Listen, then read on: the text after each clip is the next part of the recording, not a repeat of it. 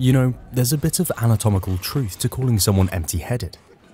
Our heads need some degree of emptiness to function properly. The brain needs a thin, empty space that acts as a suspension system to protect it from a sudden impact. Not only that, but we also have some more empty spaces located in the center part of our skulls. Starting from our time inside the uterus, the nasal cavity eroded the surrounding bones in our skulls and formed the paranasal sinuses, the air-filled spaces that lie within the facial bones. All the sinuses, therefore, drain back into the nasal cavity. The function of the paranasal sinuses are as follows. Humidifying inspired air, increasing resonance of the voice, assisting the immune system in the nasal cavity, serves as a crumple zone to protect vital structures in case of facial trauma.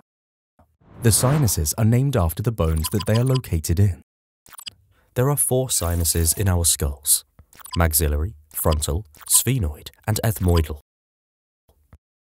Now, let us enter those hollow spaces one by one.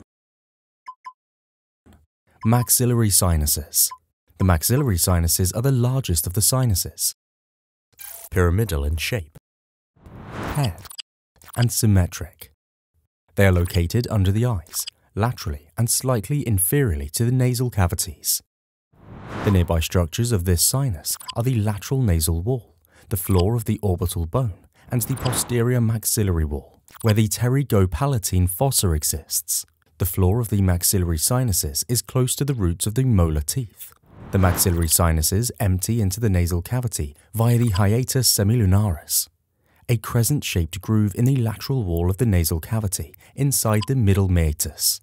Meatuses are the space behind the turbinates, the bony projections inside the nose.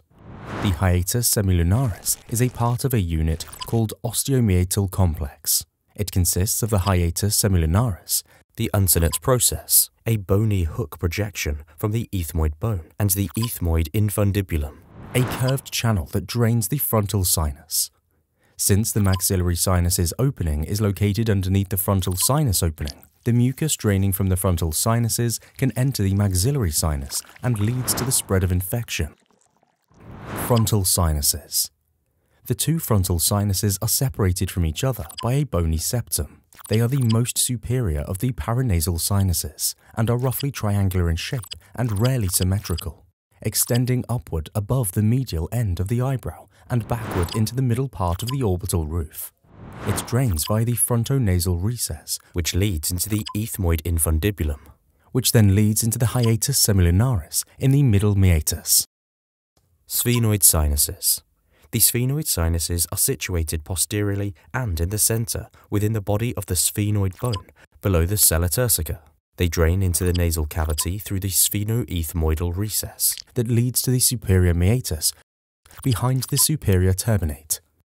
Ethmoidal sinuses. The ethmoid sinuses consist of many paired cells with complex structures.